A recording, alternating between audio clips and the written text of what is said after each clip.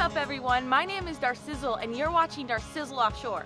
Today I'm going to be showing you how to tie the uni knot. In my opinion, the uni knot is one of the best and easiest knots to use in order to tie your fishing line directly to a hook or a lure. For demonstration purposes, I'm going to be using a 16-aught Mustad circle hook and a piece of paracord here. That way you guys can actually exactly see what I'm doing. So for starters, you're gonna take your hook or your lure and you're gonna take your fishing line and run it through the eye. Now once you do that, you wanna make sure you have, you pulled out a good amount of tag end, probably about six inches or so, so you have room to work and actually make the uni knot.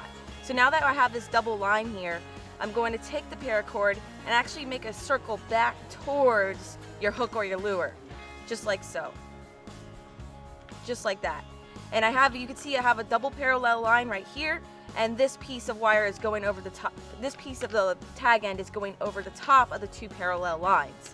And now you're gonna wanna make wraps around these two double parallel lines. And depending on how thick your line is, you're gonna probably wanna do four to six turns with thick line and then more than that on thinner fishing line. So I'm gonna make the first turn, the first wrap, and I'm gonna go over and under, just like that, and I'm gonna do this three more times.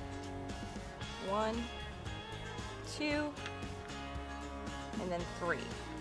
And you want to do that around that whole circle you made. And now at this point, once you have all these wraps here, you're going to want to cinch it down and you're going to want to lubricate your fishing line so that way your knots are nice and even and it pulls tight correctly. Um, I'm not going to do this because it's paracord, but I suggest, I highly recommend you wet it with your saliva or dip it in the water. And now you're going to take your tag and you're just going to pull these, these wraps tight just like that. And then you're going to take your main line, which is the other piece of your fishing line, and you're going to pull that down towards your hook or your lure and cinch it real tight just like that.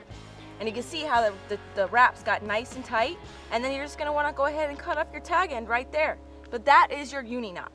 Pretty simple.